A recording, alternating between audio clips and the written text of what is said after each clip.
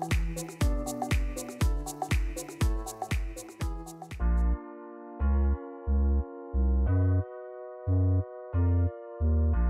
Hey everyone, it's Caitlin and welcome to another video. In this video, I'm going to be sharing three easy vegan Instant Pot recipes with you all that all have a Tex-Mex theme to them.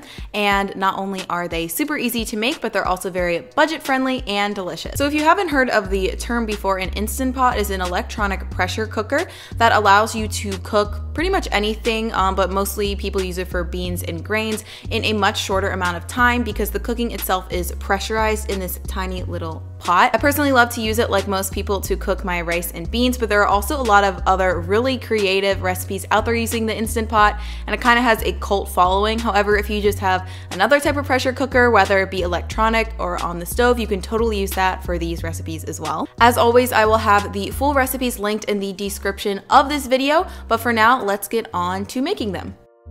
First, I'm going to show you guys how to make some freaking amazing refried beans using the Instant Pot. I am obsessed with this recipe and it's super simple as well. So you're just going to add some dried pinto beans into your Instant Pot and then cover it with water.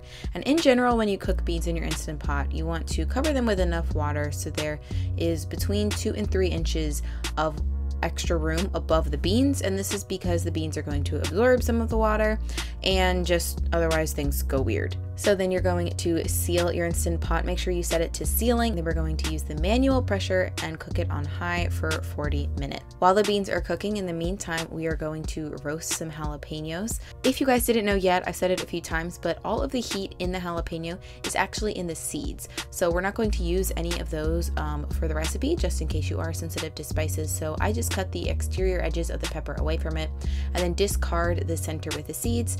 And then we're just going to put these strips of jalapeno jalapenos onto a baking tray and broil them in the oven until they are slightly black. And this is going to give us the smoky and charred flavor that we're looking for. But just to soften up these jalapenos a little bit more, we're going to place them into a resealable Ziploc bag and then seal it and let them sit there for around 10 minutes or so just to let them steam. Then afterwards, we're going to put them back on our cutting board and we're just going to dice them really finely. Like I said, we're keeping the black parts actually on. They don't taste burnt, it tastes more smoky, and this helps contribute to the overall flavor of the beans. So after we have finished that, we just wait till our pinto beans finish cooking in the Instant Pot. And as you can see, they are perfectly cooked. You don't have to soak them beforehand. 40 minutes does the trick. And then we're just going to remove these from the pot. And I like to discard enough liquid until the water is level with the beans. As you can see here obviously this goes by personal preference so you can experiment a little. But now we're going to take about half of the beans out of the pot with a little bit of the water and we're going to put those into a blender or food processor and we're also going to add in some salsa here and we're going to blend this all together. And this also helps to blend the beans into more of a puree and it also just evenly incorporates the flavor of the salsa throughout the beans afterwards. So now we're going to return these to our instant pot container. And then we're going to add in our spices. I'm adding some chili powder, some chipotle pepper, and some cumin. The full measurements are listed in the blog post. And we also can't forget about those beautiful little jalapenos that we diced up before, along with some salt. And then we're just going to mix everything together. And I do want to say that these beans may look runny right now, but it is because they are still pretty freaking hot from the Instant Pot, but they will thicken a lot as they cool and with time in the fridge. So that's it. You can eat these beans with rice. You can use it as a dip for chips. You can put them in burritos, on tacos. The possibilities are endless. Up next, I'm going to show you guys how to make some cilantro lime rice. And fun fact, I actually used to work at a chain Tex-Mex restaurant and their cilantro lime rice was my absolute favorite. So to make this rice, we're actually only going to be using the stems of the cilantro. So I'm just roughly cutting off the leaves and saving them for another recipe or for the garnish later on. But we're just going to dice up the stems nice and finely because they still hold flavor. And then once we cook them in the Instant Pot, they become pretty soft as well. So we're going to add some rice to the Instant Pot. I'm using short grain brown rice. And to give this extra flavor, instead of using water, we're actually going to be using vegetable broth. Then we're going to add in those cilantro stems and just stir everything together so it's well incorporated. And then we're just going to seal the pot up and once again switch it from venting to sealing. And this time we're going to do manual high pressure for 22 minutes. Then you'll let the pot naturally release steam for 10 minutes and the rice will look a little bit something like this. Last but not least, we're going to add in our lime juice and I decided to add in some extra chopped cilantro leaves from before just to give this a little bit more color because as you can see right now, the parts of the cilantro that were actually in the pot got a little brown looking. So we're just going to stir that up and you're ready to go. You can obviously add more lime or salt to taste if you'd like, but this is a great healthy version of cilantro lime rice that you might normally see at a Tex-Mex restaurant. Last but not least, we're going to make some black bean soup topped with an avocado salsa. So the soup itself is also, again, very simple. We're going to start out by adding a splash of vegetable broth or water or oil to a pan along with some garlic, some red onion, and some red bell pepper. And then we'll use the saute function of the Instant Pot just to saute these until they're translucent. Then we're going to add in some chili powder along with some cumin and some cayenne pepper as well as some diced cilantro. And then again, we're just going to stir that, toast the spices for a bit, and then we're going to add in some dried black beans. Again, I'm lazy, I don't like to soak my beans, so I'm just using them dry.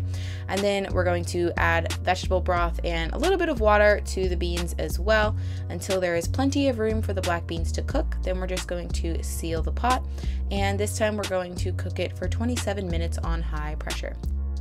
In the meantime, we're going to make a lovely avocado salsa to put on top of our soup just to switch things up a bit. So we're going to add some red onion and some jalapeno into a bowl. And again, I'm just showing you guys Again, this is how I like to cut my jalapenos. I cut the little strips and then I use the strips and I finally dice them. I think this way works the best, so let me know if you try it out and it works for you. So after you add the jalapenos, we're also going to add in some tomatoes, cilantro, a little bit of cumin, salt, and some lime juice. Then we're just going to stir all of this together to help marinate the flavors and to make sure everything is well combined. And then we're going to add in our avocado and hopefully you get a beautiful avocado like this one. I just like to dice my avocado with a knife and then I use a spoon to scoop it out and the chunks stay pretty intact. So for this recipe, we're going to use one whole avocado. And then after you finish adding that to the bowl, because the avocado is more tender, I just wanted to add it in last. So then we're just going to gently fold the rest of the salsa ingredients in with the avocado. And this is kind of like guacamole, but personally, I actually like a little bit more because I think it has a nice, fun texture, but you can still use it in the same ways as guac. You can put it on bagels, you can put it on toast, you can use it like a normal salsa with tacos or burritos. But in this instance, we are using it with our soup. I just thought it would be fun to give a little bit more texture to the soup.